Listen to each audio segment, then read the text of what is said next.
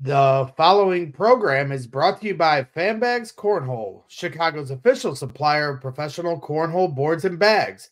Choose from any of their officially licensed designs or have my boy Brian design a custom set using anything from a selfie to your company's logo.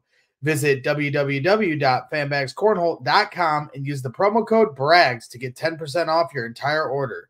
That's www.fanbagscornhole.com and use the promo code BRAGS for 10% off.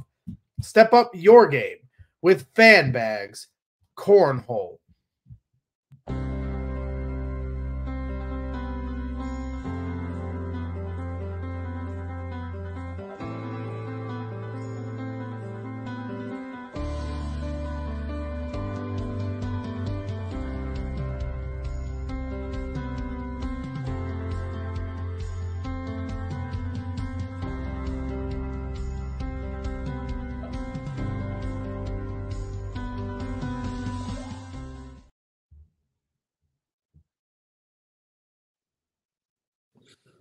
It's Zach Edey with Purdue men's basketball, and you're watching Boilers in the Stands.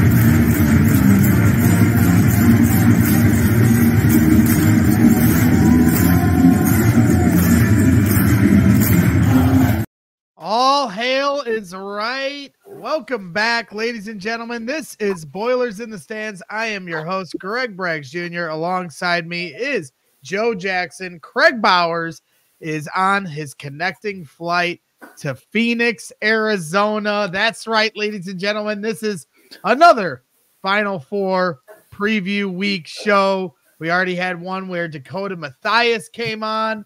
Got one here tonight where the very intelligent, the master of the X's and O's breakdown, Joe Jackson, will tell us what we need to know about this game. If you haven't already watched his preview on Feed the Post, you're doing yourself a disservice. So make sure you check that whole video breakdown down uh, breakdown out. It's a 15 minute interview of all the keys to the game that here Joe Jackson highlighted. So here it is, and we are going to have. Uh, I know I promised some people earlier this week a Robbie Hummel episode that should be happening tomorrow morning with Kraig Bowers uh, hosting the show. So Joe will be on a flight. I will be at Wrigley Field. So Kraig should be on with Bobby Buckets Riddell and Robbie Hummel tomorrow morning. So make sure you stay tuned for that. So, all right, now that I got all the pleasantries out of the way, welcome back, Joe. We're excited to talk some NC State versus Purdue Boilermakers here coming up on Saturday afternoon, Saturday evening for those of you on the East Coast, Saturday afternoon for those of you that are lucky enough to be in Glendale, Arizona. Yeah, that's an underrated part of it too. As I kind of realized, I was like, oh yeah, this game doesn't start at like 9 p.m. It starts at like three, and and I guess that's an exaggeration. But even the the championship, right? If Purdue, um, well, regardless of if Purdue makes it or not, like the championship starts at like 9:20 Eastern time, but that's 6:20 Pacific time. So I'm pumped. I'm I'm just so excited. I can't wait to uh to head out tomorrow, be in Phoenix. Um, we'll have our meetup before the Final Four game. Go to the Final Four game hopefully see a championship game with Purdue in it too, and hopefully see Purdue uh, lift up a trophy. Yeah, it's exciting. We got some people in the chat all talking about when they're taking off. Somebody on Facebook flying out at 10:30 here tonight. Tom White doesn't leave till tomorrow. Joe doesn't leave till tomorrow. Kraig's going to be there tonight. I'll be there bright and early Saturday morning. Uh, for those of you that don't know, we've been promoting it on socials. We did talk about it on our last show. We will be having a pregame pregame party at Carousel. Uh, it's a Carousel arcade bar, which is four minute walk from the stadium. We did have a QR code initially. No real reason to put that up anymore because the QR code tickets are sold out completely.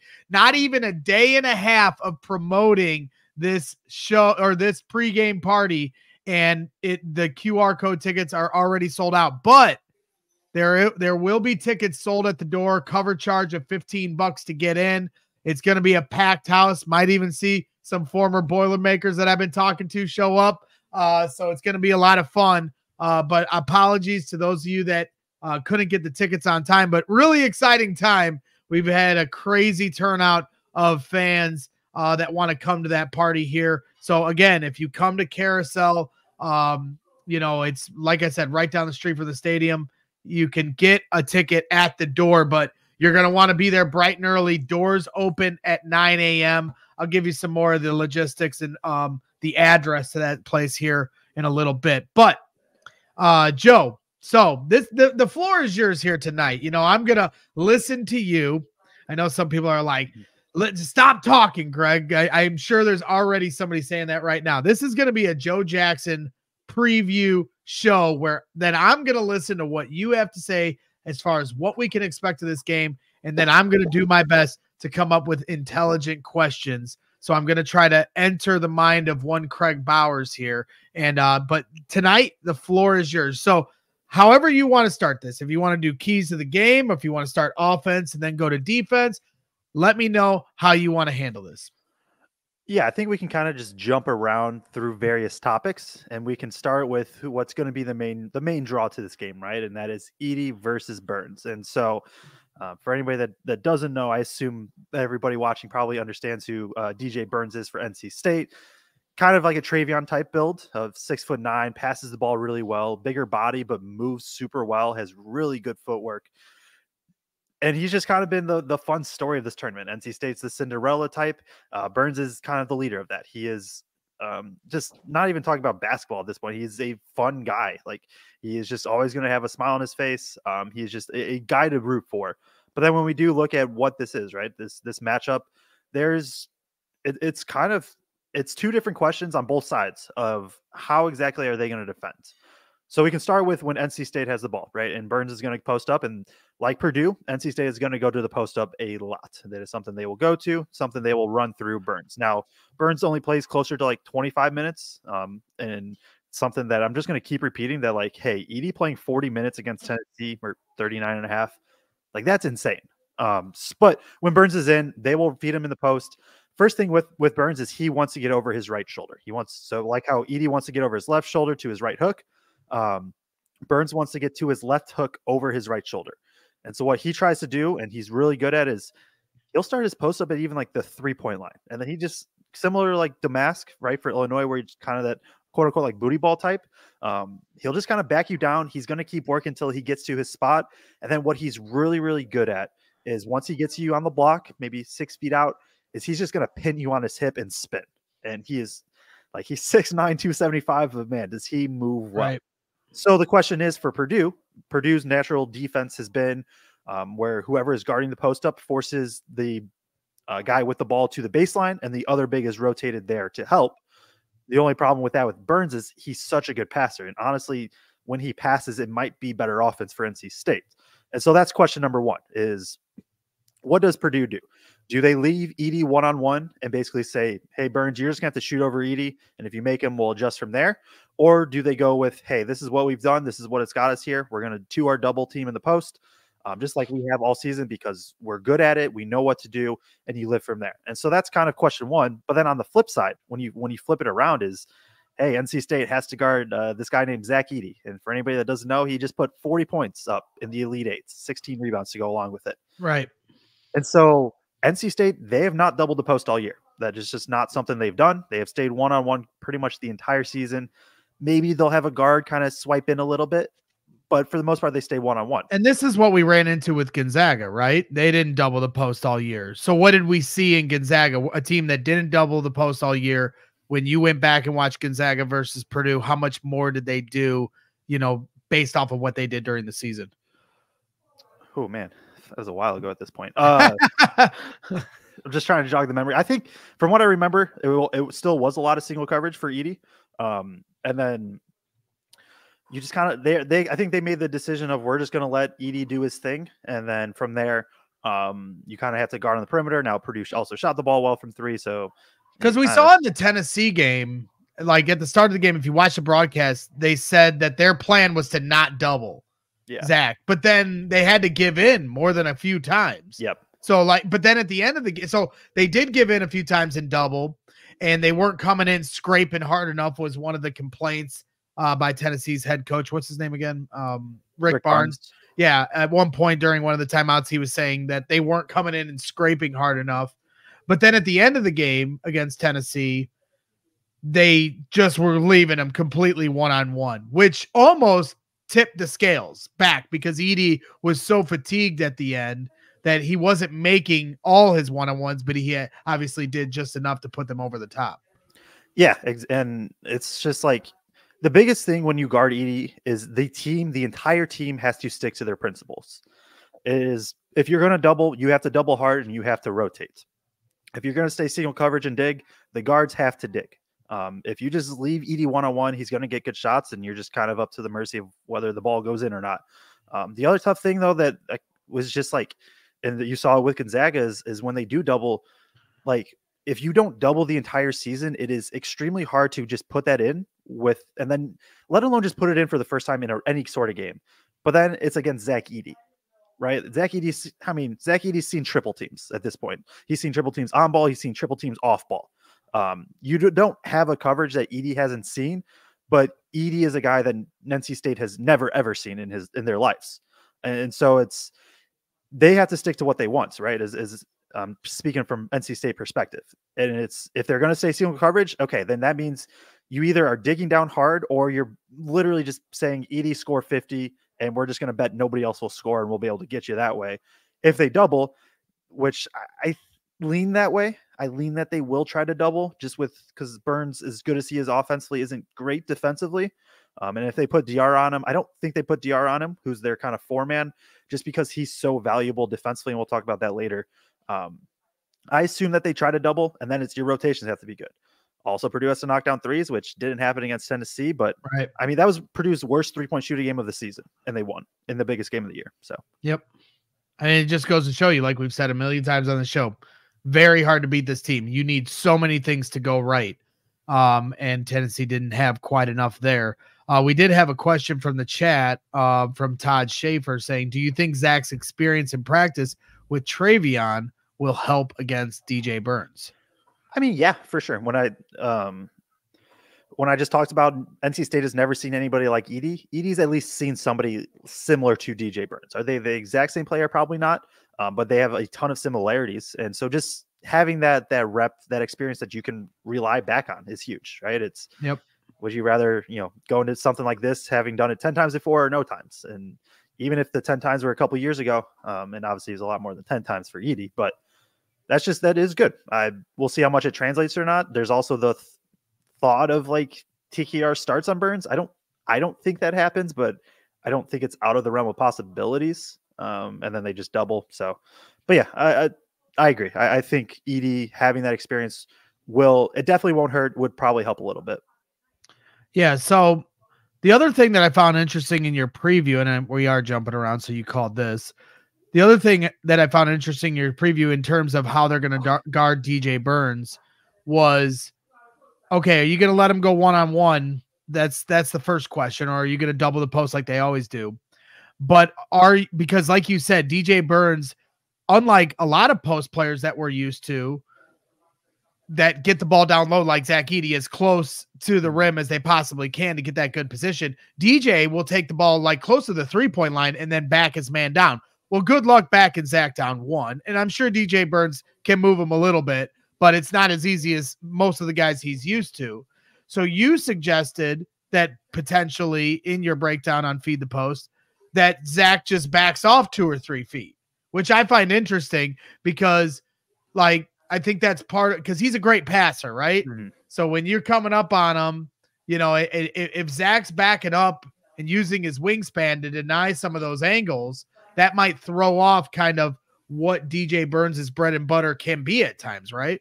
Yeah, and and Burns is just so good at using leverage, which is why I kind of threw out the idea. And there's two reasons, I guess, for it of Edey giving Burns space really outside of eight to 10 feet is kind of in my head how it, it could work.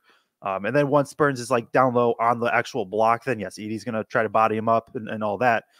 But Burns is just so good at he creates the contact and then uses that to his advantage. He's going to throw his body into somebody, as all post players do, and then use that to just get to the spot he wants. So now if Edey's backed off, it's like and Burns can knock down a mid-range shot. He absolutely can. Excuse me, but that's you know that is Purdue's going to live with that shot over Burns either passing or getting to the rim, and so yes, and then also on top of that is this is where Edey being seven four with a 7'10, 7'10 wingspan can really come in. Is he can give up a few feet of space, but it's not the end of the world, right? If it if it if it was TKR, for example, like TKR would have a much harder time doing that because he's six nine. But Edey at seven four, super long wingspan, like you said, he can absolutely get into some of these angles, get into some of the the passing vision for Burns, and that's where if Purdue stays one on one, which I don't think is the worst idea, um, you kind of just you basically make Burns have to beat Edey one on one. Is Burns going to get his a few times? Absolutely, but also I would I would think Edey's going to um, stop him a few times as well. Sure. Um, yeah, it'll certainly be interesting to see. So, you know, so what would you suggest? You know, you're trying to guess on what they'll do, but what would you, if you were coaching, what would you suggest? Would you double the post or would you just stay with the three point shooters and let DJ Burns get what he can get against the national player of the year?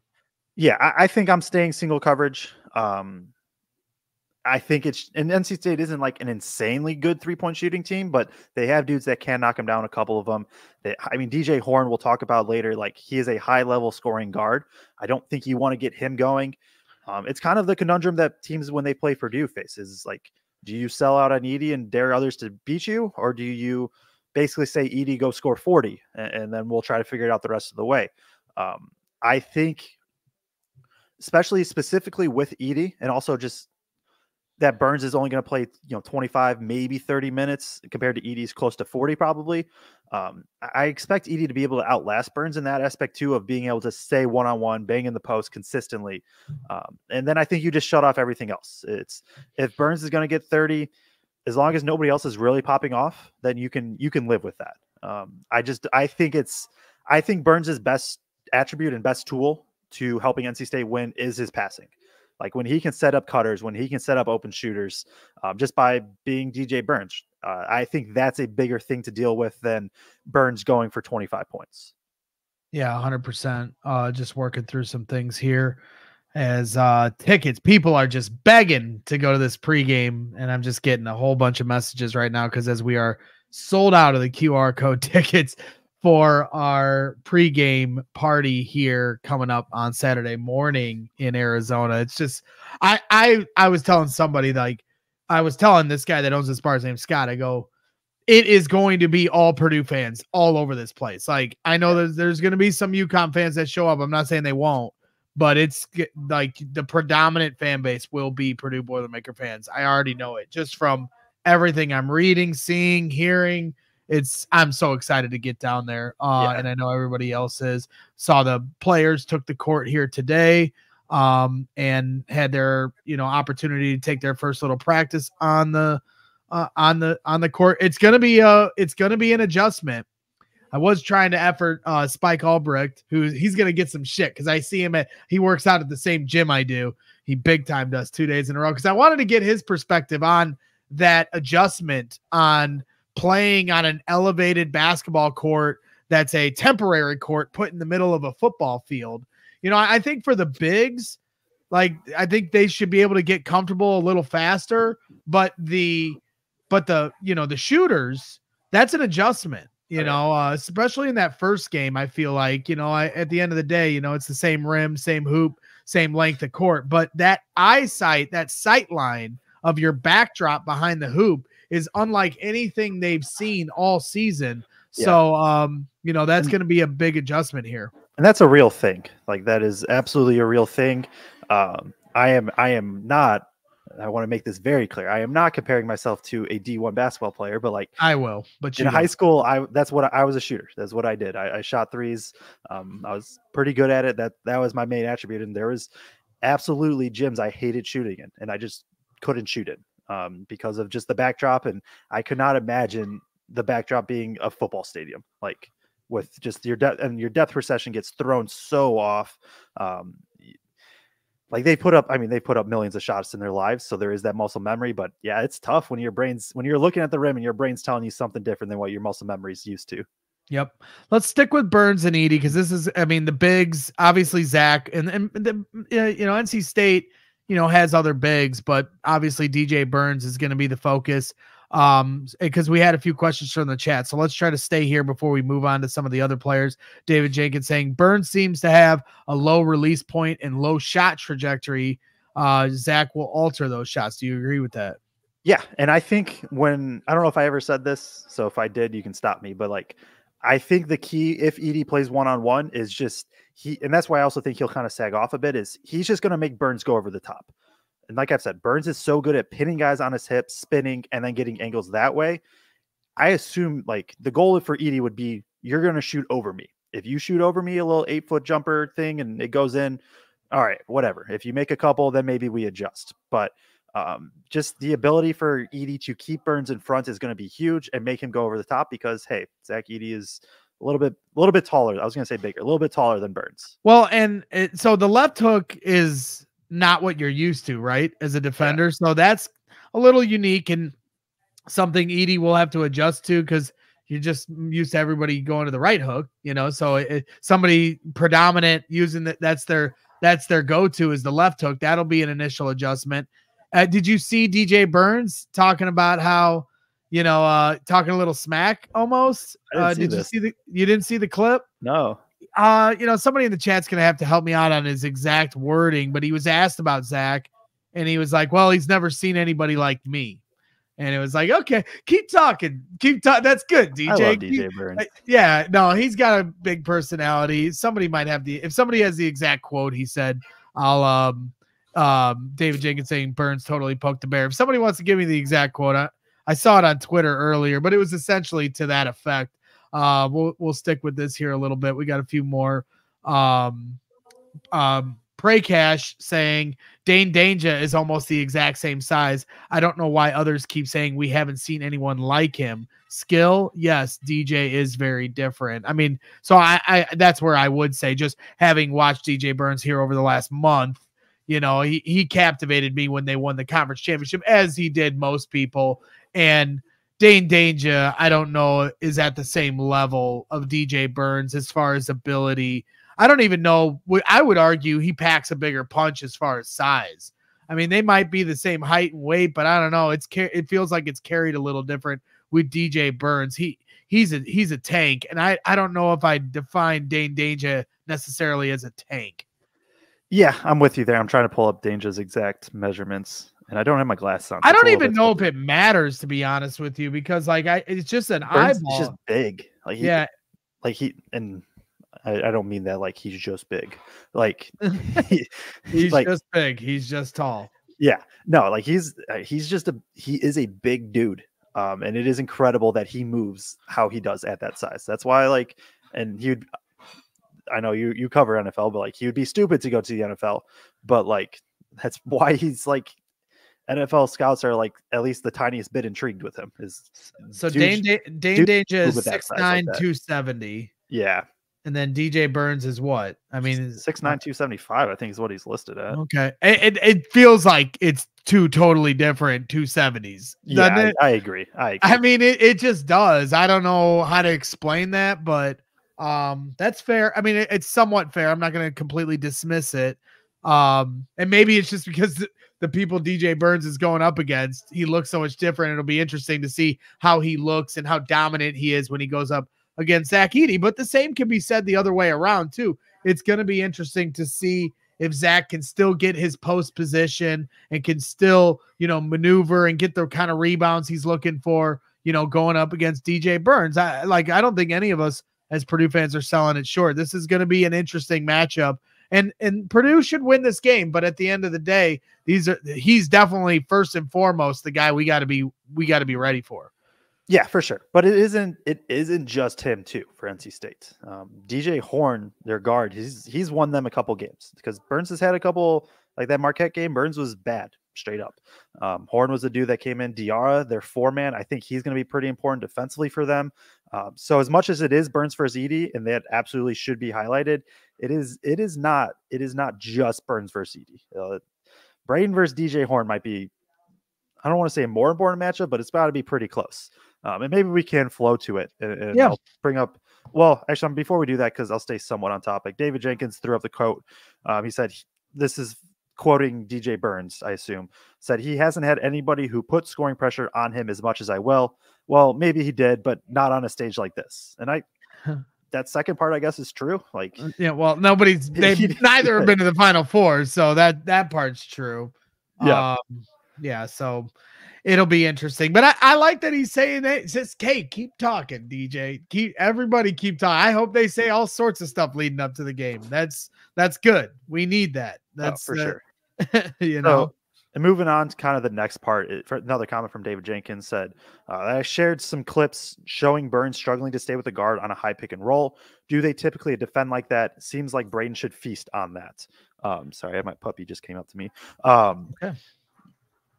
So yeah, the pick and roll Burns like. Do I have my clipboard? Is it? Uh oh. Let's get the X's and O's out. Here It will we make it through security, right? Yeah, of course it will. We will force it through security.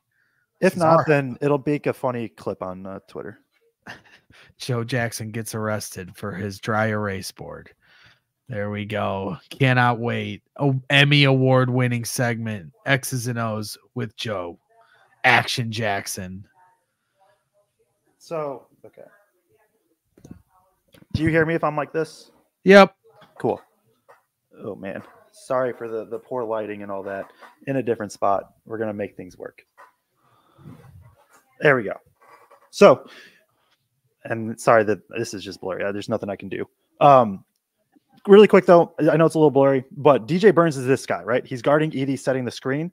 When we think of Edey defensively or whatever, we think right drop coverage, where he's just going to drop back and kind of really make sure that the ball handler and the roller stay in front. Burns, oftentimes, he just stays with the roller. And so as it comes off the screen, say Edey rolls, Burns just kind of stays here. And it's usually, this is Diarra. This is their, I think, number 21. Number 23. Number 23, Diarra. He's usually going to be guarding like Gillis or TKR. He's the one that actually protects the rim. And so on this pick and roll, he's maybe going to be helping off of Gillis here. And so this should leave this area open for Braden because um, Burns is going to stay with Edie. And Smith is so good that yes, maybe he'll find Edey on a couple rolls, but oftentimes this area is going to be open, and then it might be Gillis too. And and I think Gillis is going to be super important in this game um, because if Diarra is coming down, that means Braden should have a shot or Gillis should have a shot. Is kind of the thinking. Now maybe they adjust from that and they want to take away the guards, and then the, Edey can be hit on the roll a bit more. But um, that kind of like it's just it's just was different. And sometimes it's not all the time. I don't want to say that's every single possession, but there was a decent bit when I was watching. It was like, oh, Burns just stays at top. Like he doesn't really. It's almost as if he's not involved in the action. Um, and because of as good as he is, foot speed and, and kind of footwork around the rim, he lacks it in on the perimeter and kind of being able to move like that. And then he doesn't have size like Edey, where you can, you know, Edey and Edey moves much better now, but Edey can counter that because he's seven four, and so he can just kind of eat up space. Um, so yeah, I think it should be like Braden and and it, I just keep for whatever reason I just keep going back to Gillis. I just keep going back to like this. This needs to be a Gillis game. Um, it's either Gillis like is going to have a bunch of open threes, or if they sell out on kind of the shooters, then that means Braden and Edey and pick and roll should be there every single time, whether it be a Braden pull up or an Edey roll. Um, it- it's should like there there should be opportunities for there as long as Purdue just kind of does their thing. That is five dollars. We did we needed an actual tracker. We would have made I- I would have been know, rich. Ah, you know what? Try to be polite and mute myself during the Emmy award winning segment, and this is what I get for it. Another fine. So, the other thing that stood out to me in your preview, not to completely spoil your preview, watch the preview. It's really good. It puts a visual to the words that are being said here on tonight's show, which really helps you and a caveman like me in an understanding of how this is actually going to break down. But the other thing that really stuck out to me was you said they don't hedge, or DJ Burns at least doesn't hedge that often. No. Well, just from watching this over and over and over here in the Big Ten this year. If you're not hedging Purdue, like that, that's one of the main things that slows Purdue's offense down and them trying to get into their set and try to either get into the post or running whatever they're running. If you're not hedging this team, I think that presents a serious problem for NC State. It yeah, it, it basically if you aren't hedging, you're just conceding like Braden's going to have a mid-range shot. It's at minimum, and maybe Braden can create stuff for others. Um, it is yeah, the hedge is just something that you kind of and, and Braden's also been so good at it this against it this year is the crazy thing. But like, yeah, that's the one thing where it can take Purdue out for sure. Um, now this this with the kind of drop coverage, if you don't hedge, it does mean Braden has to play well, which I fully trust he will. It, it puts the pressure on him instead of everybody else. Of he has to be able to make a play. He's going to have space to operate. He's going to have looks both for himself and different passing angles for shooters, for Edey on the roll, um, even like some strong side TKR post ups. It's all going to be there, and and it'll if they're going to play that kind of it's a conservative defense. Purdue plays it too. Um, that means that Braden has to be good. Like just matter of fact, he has to be good. Yep. Yeah, Matt Spurgeon has it. If you don't hedge, you better hope Braden can't hit shots, and that's it. And maybe that's kind of the belief. Is, but even you know if what? he's not hit, like to me, yeah, of course, the mid range and the pull up when you don't hedge, but it also gets Braden going downhill too. yes, A lot faster. Like he can get downhill even if you hedge him. He'll get around it eventually, but it, it slows everything up just a tick. But if you're not hedging, then he's getting downhill, and it it to me opens up the opportunity for drive and kick as well.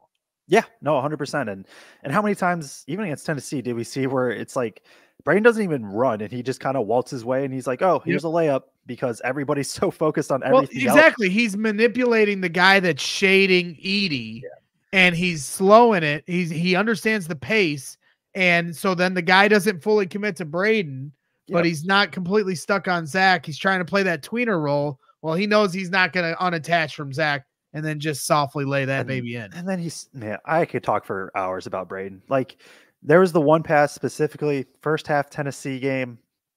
I don't quite remember how much time was left.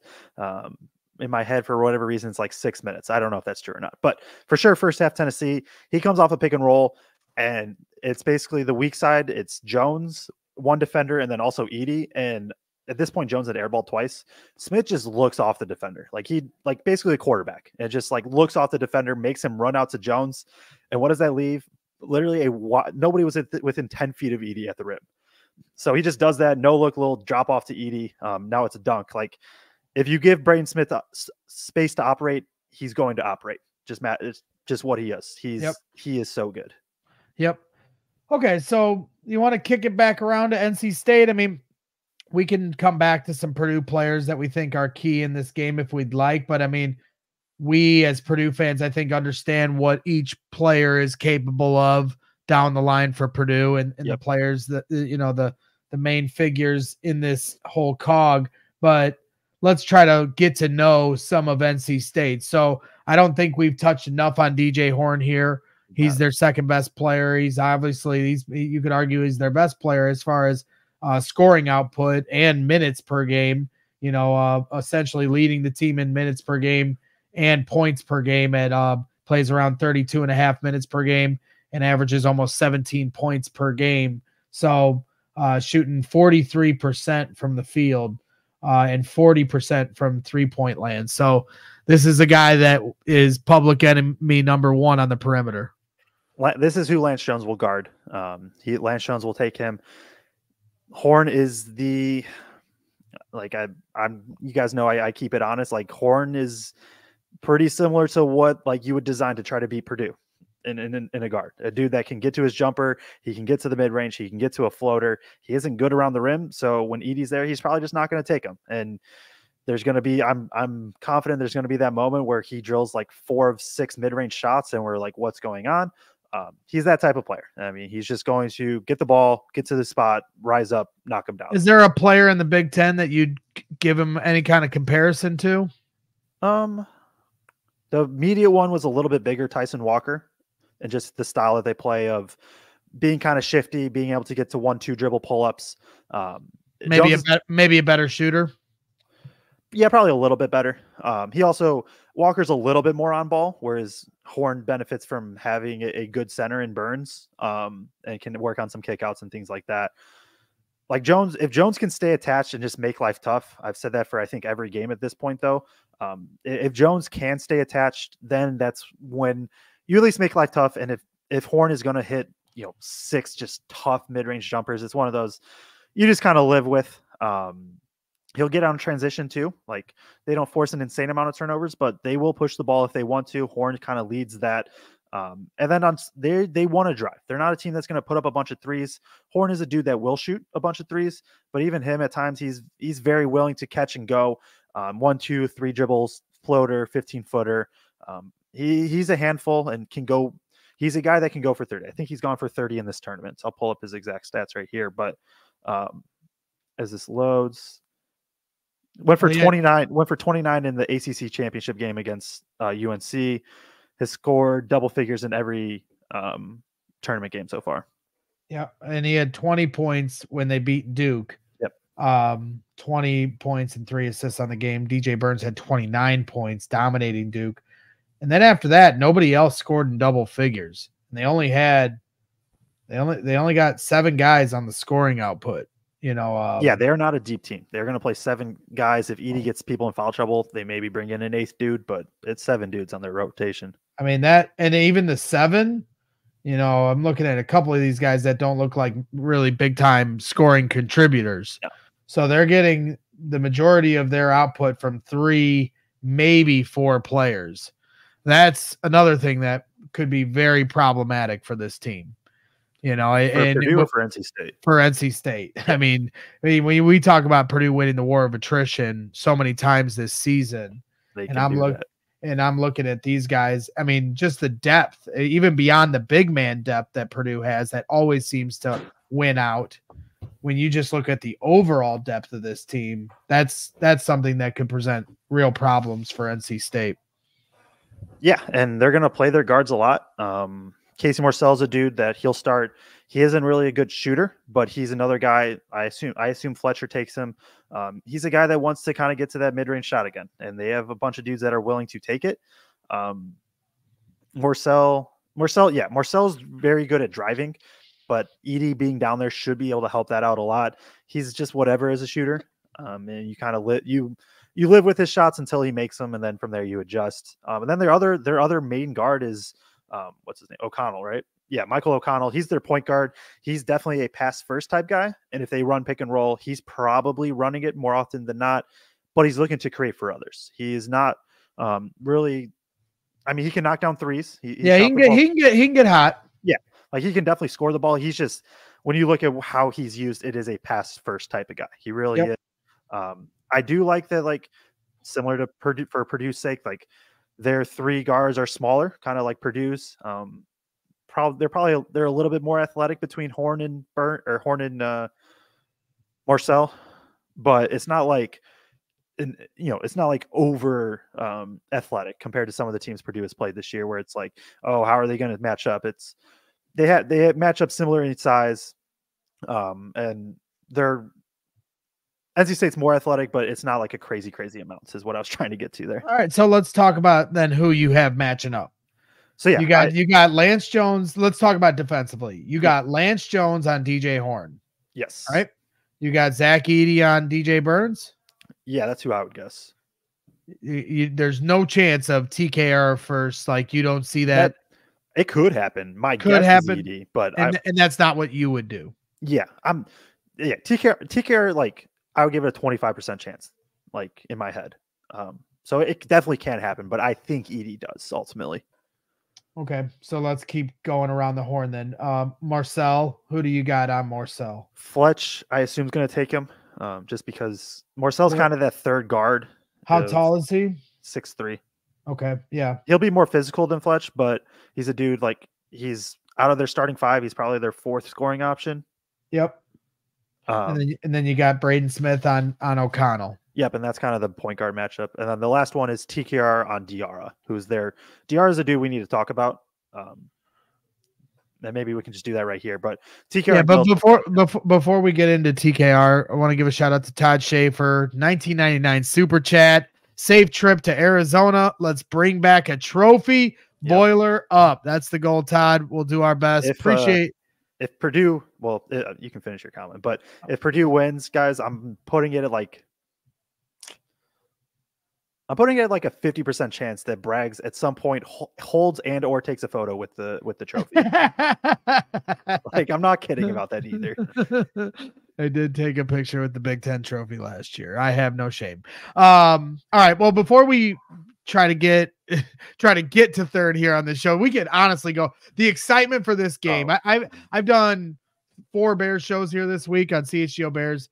Couldn't care less. Like I could, I don't know if I could have cared less about. And I, hey, all due respect, I'm excited for the Caleb Williams era here in a few weeks. But like, my God, get me to Saturday. We could literally do this preview show for three hours for all I care. But uh, let's give a shout out to Autograph here real fast before we do and uh, get into the next part portion of our show here for our final four preview show NC State versus Purdue. So yeah, Autograph, the, the app that we've been talking about for a month or two at this point now. Um, great app that you can get all your Purdue content in one specific spot. So you just log in completely free. Use code BITS if you're signing up for the first time, B I T S, um, and then you can just you get all your Purdue content in one specific spot. So whether it be our podcast or Boiler Upload or Black and Gold's articles or stuff like that that you kind of would just consume anyways, now it's in one spot and you can be rewarded. And so the more you interact with articles and podcasts and comments and others, there's a leaderboard and then you get rewards. And then those rewards you can use to enter like free raffles for I think there's like some signed basketballs and stuff like that. They've Yep. also had an ins- like just an insane amount of ticket deals throughout these last few months of the college basketball season.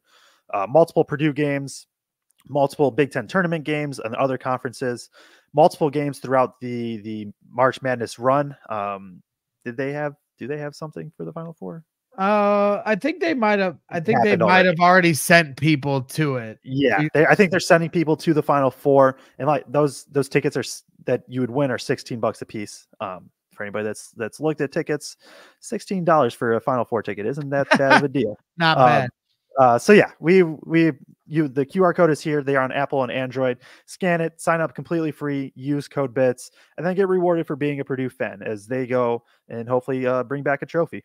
Yeah, it's a great database um for you to, you know, get all your content in one spot. And, and we're in there, and Boiler Upload is in there, Black and Gold is in there, uh, Field of 68, you name it, all the way down the line.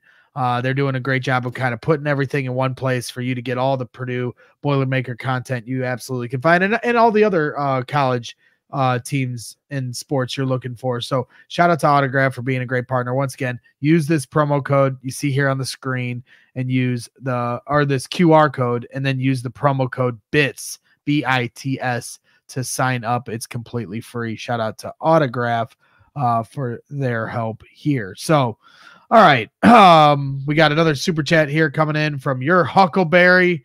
I like it. I'm your Huckleberry here. 499 super chat. Boiler up, boys. Love the breakdown and coverage. Let's go. Let's go. We're all very excited. Thank you for your support here. Um, so yeah, let's let's try to. You said you wanted to go into TKR zone here, huh? Yeah, TKR versus Diarra, also Gillis. Um, so uh, Mohamed Diarra, number 23 for NC State. He's probably the more, and this is coming from somebody that hasn't watched a ton of NC State and is just, you know, listening to to the the media at this point about them. He seems like he's probably one of the more overlooked players. Like I he's probably the third most important player on this team. What he does defensively can kind of tie up anything that Burns can't do.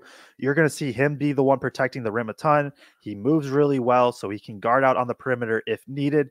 Um, I wouldn't be shocked if I wouldn't be shocked if Purdue goes to TKR, assuming DR is guarding TKR. Excuse me, I'm uh, I'm a little bit, a little bit of a cold since Detroit. I'm Uh-oh. trying, I'm trying to get through it. I know. Oh. I've been, I've been uh, responsibly pounding Dayquil and fluids and all that. I'm If you had just been it. drinking whiskey, like I peer tried to peer pressure you into, Maybe that would you- have solved your immune system would be a little higher right now, Joe. That problem maybe. So feel pretty good. But Mm-hmm. um I wouldn't be shocked if Purdue goes to TKR against Diarra into the post early just to try to get Diarra in foul trouble. I think he's that important to what they do defensively. Um, he can be versatile. I don't expect him to match up with Edey. I don't think that would be smart if NC State does, just for that foul that foul reason. Um, but and then I mean, offensively, he's he's going to finish around the rim. He's thirty two percent from three on the season on you know two uh, one and a half attempts a game. So it's like he can take them, um, but he's not like a huge offensive force. He is just a very very very good uh, rim protector. He's also one of the better rebounders in the country. He's the best rebounder on this team. This is an NC State team that they're what? They're about at they're a little below average country uh, nationwide in, in terms of rebounding percentage. Like I think I think if DR gets in foul trouble, then NC State's in they're in a lot of trouble. Is kind of how I view him. Just what he does defensively is is I cannot overstate it. Yes, Derek Mulligan here in the chat saying, Joe, I had no idea you were under the weather. I see your intensity tonight, engaged, locked in. This is high quality Joe talk, and I love it's it. flu game. It's his flu game. It's his flu game. Uh, you'll be just fine once you get Yeah. on that plane. Uh, you're gonna you're gonna be all good tomorrow. I promise you. So, Oh yeah. Um, all right. So yeah, TKR certainly a big key here in this game. You know, they they, they feature two guys. You know, two bigs of sorts. Because how how tall is Diarra? Six ten. Six ten. So and they're starting both these guys. Yep. So that's that lines up with what Purdue is trying to do as far as matchup wise. Typically, TKR, you're always kind of in this moment of, you know, takes give and take on one end versus the other, where you know most teams don't play two bigs, at least of that size. And so um it seems like both these teams kind of match up pretty evenly. So if I flipped it to the other end on where we went down the line of who Purdue would guard defensively, so then who are you saying they would guard defensively? So out of their Is there- starting, Is there any is there any differences from what we already went through? um ooh. Like would, see- would- like see- would they could- put Diarra on Edey and leave Burns off of him? I I think the only way they do that with Diarra is if they're doubling the post because like and maybe they just trust him that much, but like I really think they cannot afford to get Diarra in foul trouble. Um, and maybe I'll be proven wrong, but like I would expect Diarra to take TKR, E- Burns to take Edey, um, O'Connell will take Smith. The only two that might be flipped, I could see Horne Horne taking Loyer and Morsell taking Jones. Um, and that'd be the flip compared to what Purdue did. You know, But then- because Jones might attack the rim a little more. Yeah, Although and- Loyer and I- has been attacking the rim quite a bit here. I think it's the physicality too. Horne is a little bit smaller. Um, he's closer to a Fletcher Loyer type build, uh, more athletic, but just pure like size and, and uh, strength or whatever. Um, so I could see that happening, just trying to also keep him out of foul trouble. But like you said, Loyer's been attacking the rim. The other thing that's interesting is like, and it's been the fun thing with Purdue all year is TKR is going to sub out about five minutes into the game, and in comes Mason Gillis, and that's where I think it can get really, really interesting. Is that's where like I assume Diarra has to take Gillis on the perimeter because if Burns is out there, then like if Burns is out there, um, it's on Gillis. I mean, then it's Purdue just has to score basically every bucket. They really do. Um, they NC State would should not be able to keep up if Burns is out on the perimeter guarding Gillis. And so, assuming Diarra is on Gillis, that's where I think like let's go back to the board. Let's So let's go. Two boards in one night. And it's going to be pretty similar concept to what I just talked about. Okay. Damn it, I love this board. All right. So as I get situated again, I know for audio, I'm sorry. Um, which we are on Apple, Google, and Spotify podcasts. If you guys do ever need to just listen to this audio, I know there's plane rides coming up, stuff like that. So go check us out there. Five star review. We would appreciate that. So it's the same concept, right? This pick and roll, and say, let's say even Burns is kind of just in drop coverage. Diarra is the one that I've said how many times now. I'm sorry about this reflection, but Diarra is the one that I've said he's the one that protects the rim. But what Purdue loves doing is they have Gillis replace out here. And so sometimes he'll set it's sometimes it's called Spain pick and roll where he sets a back screen on Burns here and then flips out. Sometimes he just replaces the roll. And so he's going to go out here. and so, or I guess in this case, he would actually he would actually come out this way. But that's me nitpicking. But then it becomes okay. What is what is Dr. going to do against Gillis? Is he going to follow him out to the perimeter? And so now you're going to you know have one of these smaller guards have to help at the rim, especially when Burns is in, who maybe he'll get back in time. Um, if Dr. stays with him, then it's Edey's just going to. If Dr. follows Gillis, Edey's going to get right here and just seal and just go to work. Um, or does Diarra stay here? And that's where Gillis needs to come out and he's got to knock down threes. And so I, I hope that that made some sense. But I really do think, like, whenever I think about this game, which has been a lot over the past however many days, I just always come back to like, I think Gillis can be the guy that breaks this game wide open for Purdue.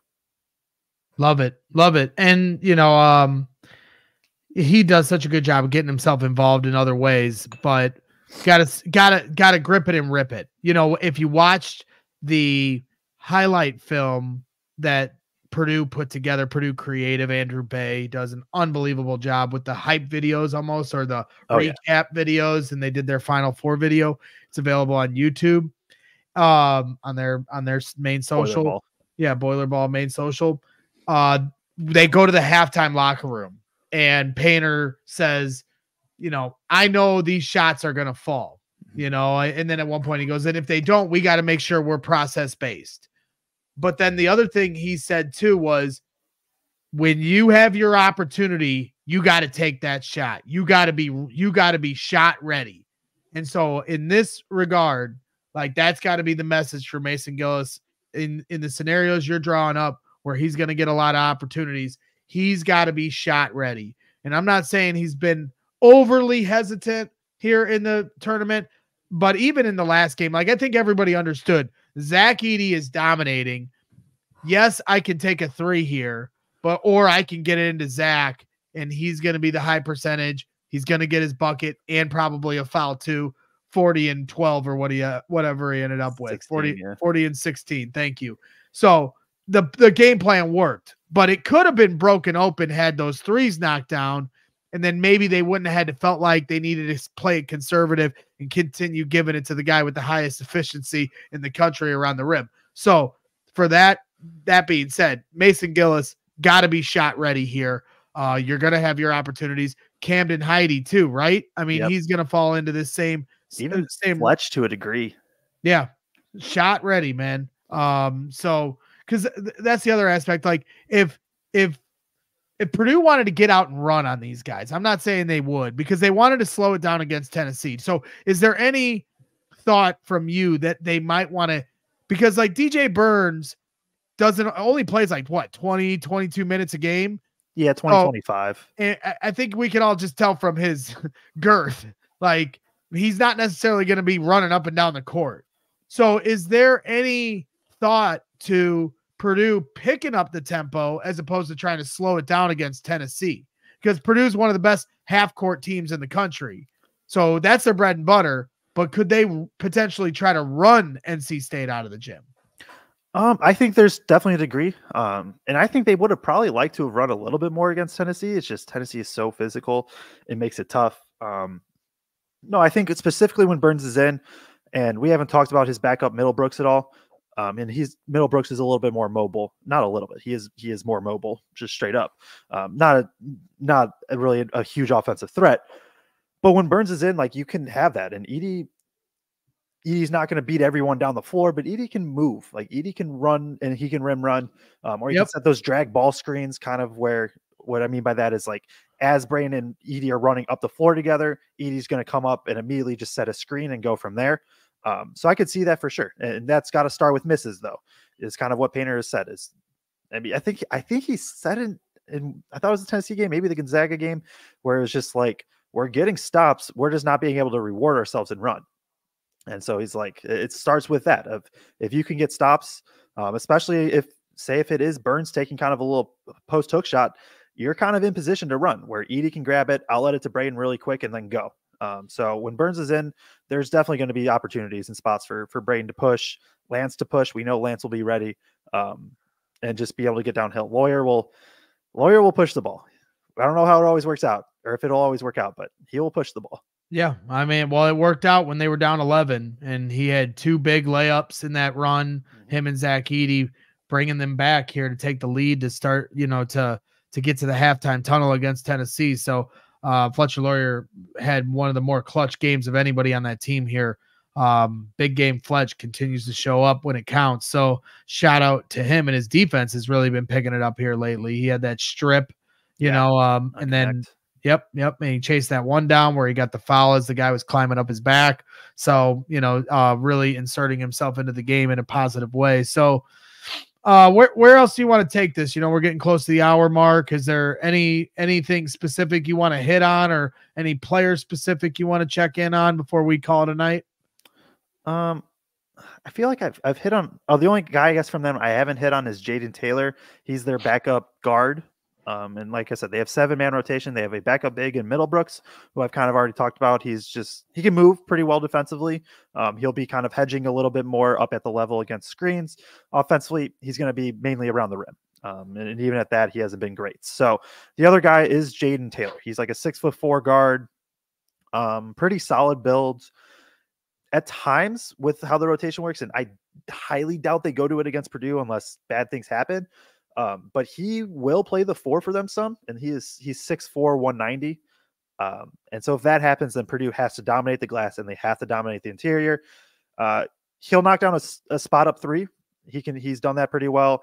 He can get out in transition. He'll get out in transition, kind of push the ball, get those good uh, stuff at the rim. He's probably one of their better perimeter defenders. So that's kind of all I have on him. Is there?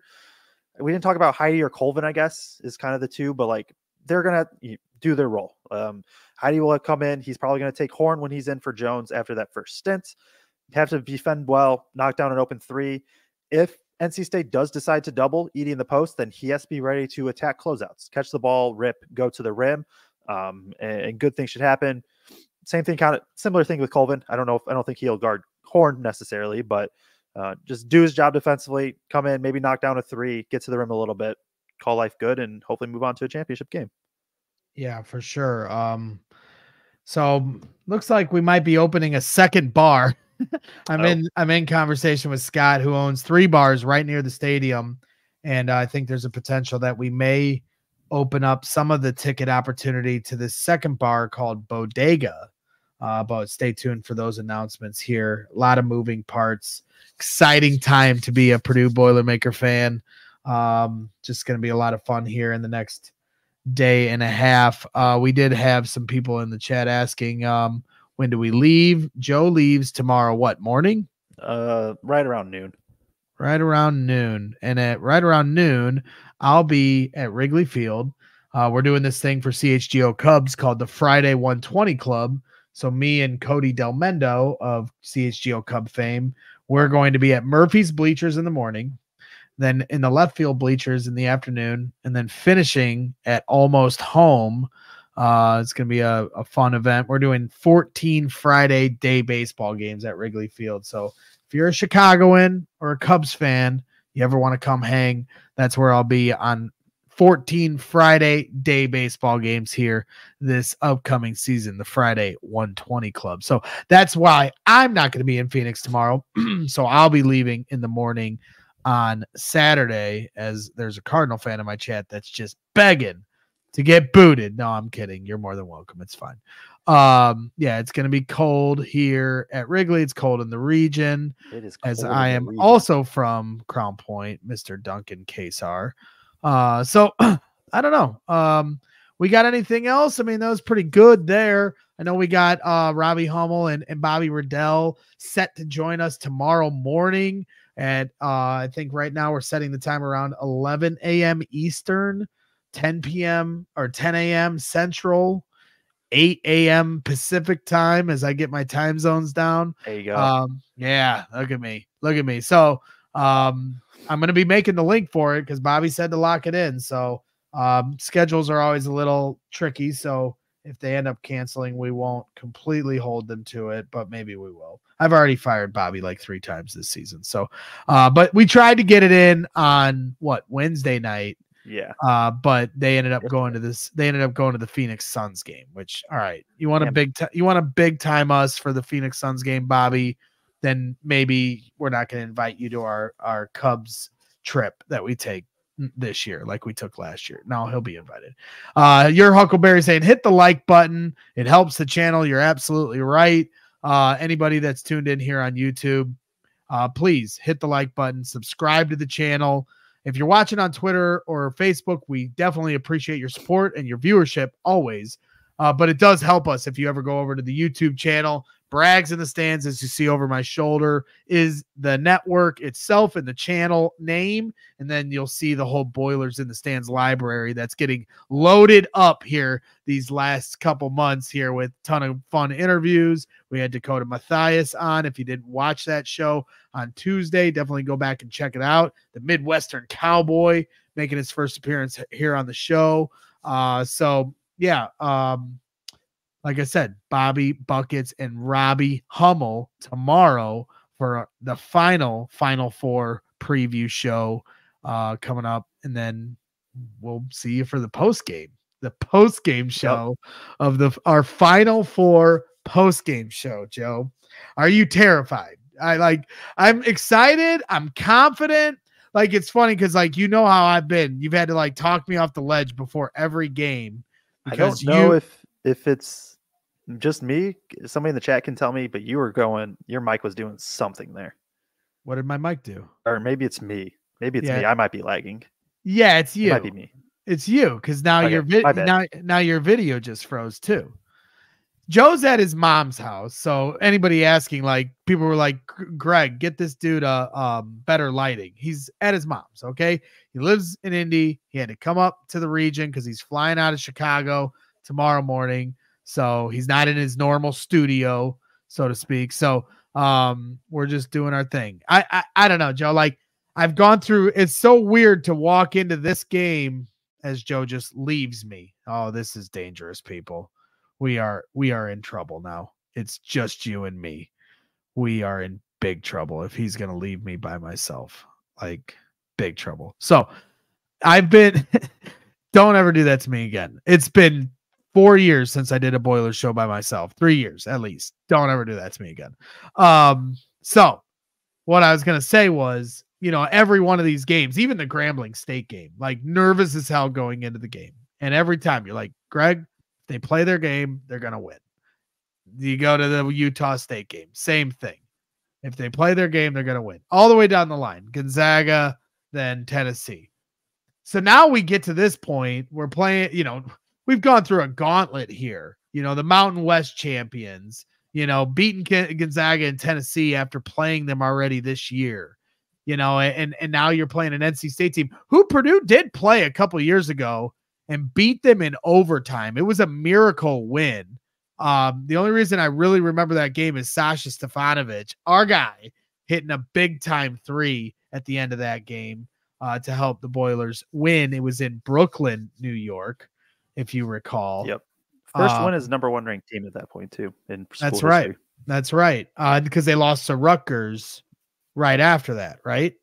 Right before it. Right before it. Okay. So yeah, they lost to but Rutgers, yeah. but they were still ranked number one for the rest of that week and beat NC State at uh, the Brooklyn Nets, um, what, whatever their stadium's called, the Oracle or something like that.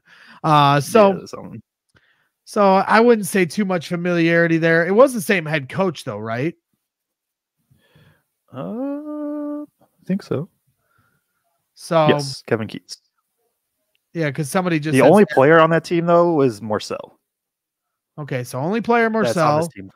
Same head coach, Sally Emmermans. You know, um, feeling what we're putting down here to finish the show. Talk about the NC State coaching. Can you? I don't. I don't have like a ton. Um, he's what basically I guess I can do a little bit. They've flipped around. So there's been a couple things that have happened, right? Because for anybody that doesn't, I assume most people know that watch this, but like if you don't, NC State was NC State was a missed free throw away from not even be sniffing the tournaments. Like they were gonna get bounced in like the second round of the ACC tournament and not even not even be eligible for like the NIT type stuff. Um, what they did on that, these they're on what a nine game winning streak now is what it is. They have tightened up interior, and so they're forcing more floaters. Um, they're taking away a little bit more at the rim. And then they're also just they're kind of giving up a little bit more of the mid range defensively, and that's kind of been a, a defensive uh, flip for them. They're there's a lot of talk with three point variance, right? And just what it three point variance is what it is. They've done a decent job defending the three.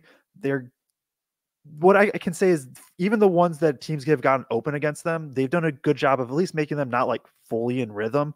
Um, so there there is a little bit of that of like they've definitely changed some things defensively. Offensively, it's been pretty much like they're going to go through Burns, and then if that doesn't work, they're going to let Horne or uh, Horne go to work, and or O'Connell kind of run pick and roll and facilitate. But defensively, they have switched up a little bit of just tightening up defensively, um, taking away the rim a bit more, and defending the three point line. And hey, what do you know? Those are uh, two pretty important things for teams to do. Throw up a couple super chats here uh, from Ryan Lewis, two dollars says dry eraser mark, dry erase marker fun for whiteboard Joe. I appreciate that. Um, I bought I think like an eight pack at the beginning of the season. So I'm say um, two dollars only gets you one. We need an eight pack or a ten pack there, Ryan. Not enough. Not enough. Well, it covers one. We appreciate that. And then yes. the other one uh, from James Palmer, five dollars. I've never dunked before, but I bet I can dunk on Joe Jackson. Whoa, whoa! I mean, maybe I'd, uh, I'd be impressed to see it. Um, I, I haven't I haven't hooped in really since the season started with being so busy, but I assume I could go out there and grab a rim right now. Like I, I think that's within my my uh, capabilities. I don't think I can dunk right now, but I could grab rim. Well, I know I'd put a mean hook shot on you, Joe. I don't care how tall you are. You bo- booty ball. You, you get the booty. DJ Burns over Edey. We did have that's right. So um we did have a question in the chat. Edey will be National Player of the Year. Yes. When is that announced? When is that announced, Joe? Is that after the season? That's a good question. I'll I try forget. to find out. Yeah, I, I almost feel like it was announced. I think he's already won one or two of them. Yeah, but the but the main one, the one where they put the yeah. trophy at Mackey next year. Um, I don't know. I was looking at it. Four dash four slash seven is what I'm seeing, which would be Sunday. So the day between the Final Four and the championship. Like, why can't they just do this stuff after the game? Like, that's crazy to me. Yeah, I don't know, but that's what it seems. But well, hey, Tom White said it, April 12th, so maybe that's Jeff Hart said April 7th. Think April 7th. I'm gonna rock. If if, okay, so it's April 7th, and he wins. If they they win on Saturday, then he wins National Player of the Year on Sunday. Then you're now walking into the game on Monday as the two-time National Player of the Year. Uh, he better get the respect of a two-time National Player of the Year. Thank you very much. Uh, but first things yep. first, we got NC State to worry about. All the people at my office talking about UConn, Purdue, UConn, Purdue. We're focused on Saturday. We are focused yep. on Saturday. We're focused on nothing else but Saturday. And I'm not going to be looped in to some kind of conversation about a game that hasn't occurred. Because, like, it was annoying to me. I'm at CHGO. We've got to schedule our week next week for all our different shows, Bears, and I produce for Cubs, Blackhawks, Bulls, and other stuff. And I'm like trying to explain to him, like, he's like, well, you can work Thursday, Wednesday, and Thursday, right? And Friday. And I'm sitting here going, well, there's hypotheticals where we might be busy on Thursday potentially or Friday. I, you know, I, but I don't even want to. I don't even have a, I, right, but I don't even want to say why because I don't want to jinx it. Yeah. I don't want to talk about it, but I have to talk about it for my work schedule, and it's really annoying. So that's what we're up against here. Um, so that's it. That's all I got. Again, yep. Um, um I, I was just. I'm just say, gonna Go ahead. Um, I was just gonna I was just gonna shout out feed the post again. Um, of course, I've gotten a lot of love on there over the past couple weeks. You guys have really enjoyed these scouting reports, so um, I appreciate all the the love and support on that. Feed the post on YouTube. Um, have the Purdue uh, NC State breakdown. If if Purdue were to win and move on to the championship, I would have um, I will have the Purdue versus UConn or Purdue versus Bama scouting report up most likely immediately after the conclusion of the Bama UConn game. So, um, also just selfishly, for there's a little bit of selfishness. One of my goals this year, and, and I understand it's not all numbers, but I'm a numbers dude for anybody that follows. One of my goals was to have 25,000 views on a video. Uh, my Purdue NC State one just crossed 20,000. So, uh, 5,000 more to go in the next day and a half before it really becomes um, kind of irrelevant. So, uh, but 20k in itself, I've had crossed 20k in a couple videos these past couple weeks, is which is which is insane to think about. Very good, very good, man. Proud of you. You're you're doing a great job, and um, you're just gonna continue to skyrocket. Kraig Bowers saying, "Way to go, Big Red." So Kraig Thanks, must Kraig. have land. Kraig must have landed, or he paid for Probably. Wi-Fi on his plane. He should have done, paid for Wi-Fi and done the show on the plane. Yeah, It just for real. disrupted everybody. everybody. Well, I you know it's Yeah. probably all Purdue fans, so I know it's That's a fair. connecting flight from Dallas, but I'm sure it's just all Purdue fans leaving from Dallas. Every Phoenix. flight going to Phoenix is probably just 100% Purdue fans. Well, Kraig will be on tomorrow morning. Just touched down. Kraig Bowers jumping in. Um, dang. Now he's even calling you out. Are you sick? This dude. This dude. Uh, yeah, I, I am a little sick. yes. Um, yeah. well, I'm trying my hardest to get over it. so um Kraig's gonna be on tomorrow morning with uh Bobby Buckets Riddell and Robbie Hummel. I will try to make it, but I highly doubt I'll be able to in the midst of the madness at Murphy's Bleachers. Um, Kraig is suggesting whiskey and honey. That's what I've tried to tell him. Drink a bunch of whiskey. One day he'll listen to us, Kraig, but uh, I think for tonight he'll probably just take NyQuil. Um, Ed Albanese asking hypotheticals that you are only allowed to ask on Sunday when we do a preview show on Sunday. Tonight, Ed, Yep. I'm not even putting it on the screen. We're not eh, we're not entertaining those hypotheticals. We are focused on NC State. Lock in. Lock in, Ed. Oh, man. Um, so again, limited tickets available for our pregame party at Carousel. Four minute walk from the stadium. Uh, they have three different bars. We're considering opening. I'm going to just kind of leave it to uh, those guys because we got one bar to handle. That's enough for me. Uh, but it's at the the carousel bar is at 6770 North Sunrise Boulevard uh, in Glendale, Arizona. So it's a $15 cover. We had a QR code where you could have purchased tickets here in the last day and a half or two days. It's not even, it's a day and a half. And um, those tickets are completely sold out. So now all we're all that's left are he's going, he left enough room for some walk-ups. So there is still walk-ups available to come to Carousel Saturday morning, but those are going to go quick as well. This is a bar that's right next to the stadium. It's going to be Purdue fans only. Um, you're going to have a p- potentially a couple former players that I've reached out to stopping by, and um, you know, so it, the, the doors open at 9 a.m. So if you can get there, I, I hope everybody that's trying to get there can make it.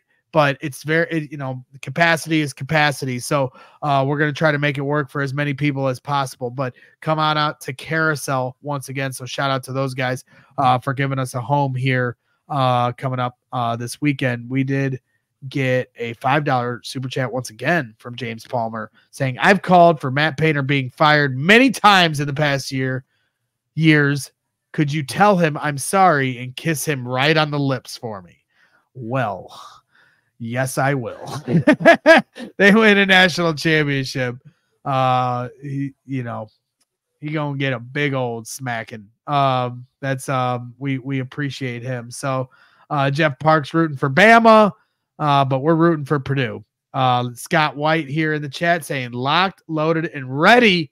Great pregame show, guys. You're the best. Boiler up. That's the famous Scott White, the owner of the Carousel. He's also got you know a couple other bars. One's going to be an Alabama bar.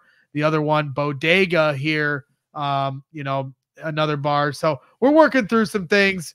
Got like 40 hours before these parties tip off. So I'm gonna let Scott decide if he wants to try to open up that other bar in the morning to Purdue fans.